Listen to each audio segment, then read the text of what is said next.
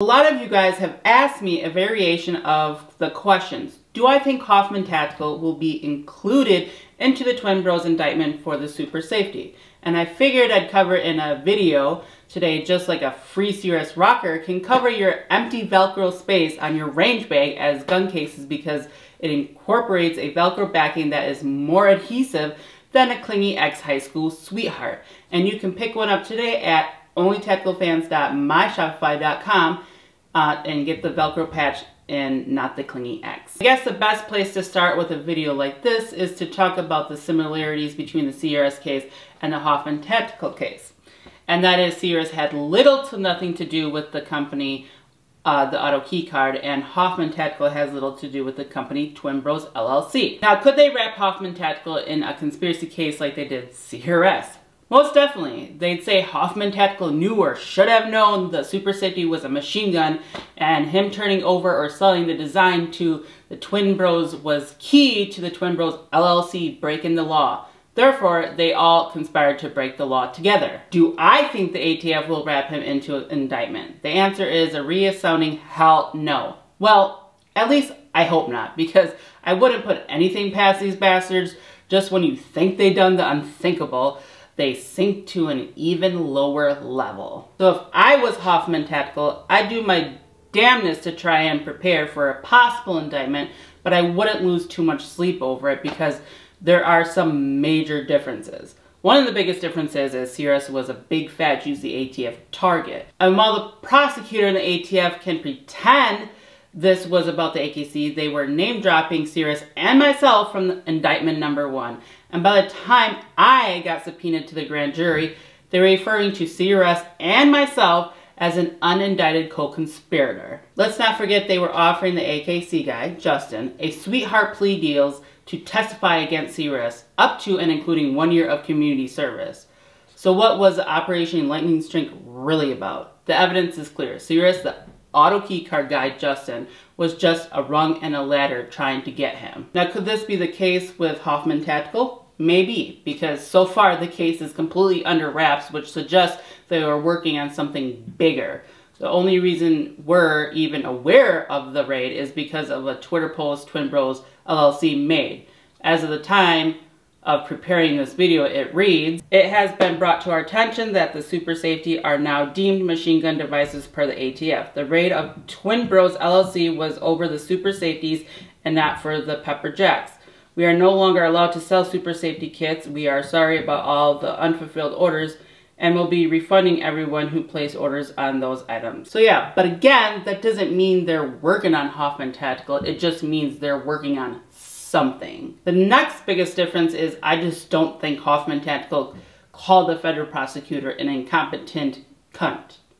I mean, he may have, and we don't know about it, but as of right now, we're just to say that didn't happen because of the lack of proof. And that is a big difference between Hoffman Tactical and CRS, because while I get why he did it, I still wish it would have never happened because that arguably is the number one reason why CRS got indicted into a case even after they realized he had absolutely nothing to do with it. Moving right along, so let's recap real quick. They had their sights set on CRS, so they used the AKC to create Operation Lightning Strike to get their foot in the door. But after they realized the AKC was not his company and he had nothing to do with it, because it was a legit advertising contract. By then it was already too late because the prosecutor had already gotten emotionally invested in the idea that CRS was involved and she was spurred along because of him calling her names on the internet. Boo fucking who. Like, stop. And then you have CRS raising money and securing legal counsel for the AKC guy, Justin, even though this isn't illegal. It was two out of the three biggest pieces of evidence that a uh, conspiracy happened. Again, emotionally invested trying to prove that he was a big bad guy, and Hoffman Tactical just doesn't face these kinds of issues. In my opinion, not even close. I personally feel like they're kicking around the idea of indicting him, but I don't really see that happening. But you can also never put it past the government, so yeah. So you're probably wondering what this is even about. In short, it's a product called the Super Safety. It's the next evolution in the semi-auto firearms technology. What it essentially does is reset your trigger for you so you don't have to consciously think about it.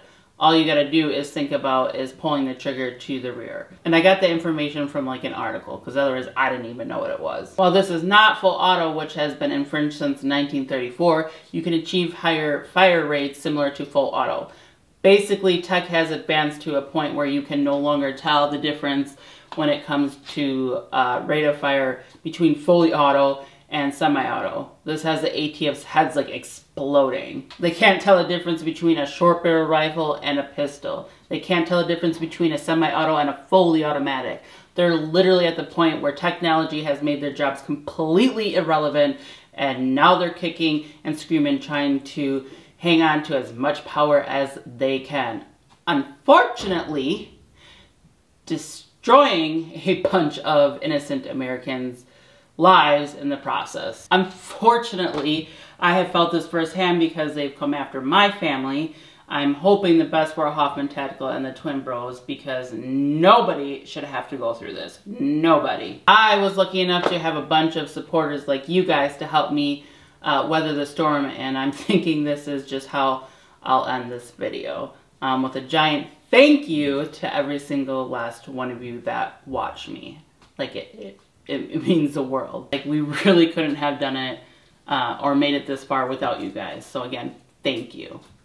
Alright, so if you guys like this video, don't forget to give it a thumbs up, comment, and subscribe. And if you guys would like to continue to support my family and I with all this crazy nonsense stuff still going on, um, there'll be links in the description, such as like Amazon. And even when you click on the Amazon link, if you don't buy what's in the little box, just because you click that link from my channel, I get a pack. So I greatly appreciate it. And there's also other ways to support us, such as like the best website on the planet of the earth, which is only onlytacticalfans.myshopify.com. Uh, so yeah, again, I thank you guys so much for everything and all the support and watching me. And until next time, guys, peace. Liberty! Liberty! Liberty! Come on, dude! Psst.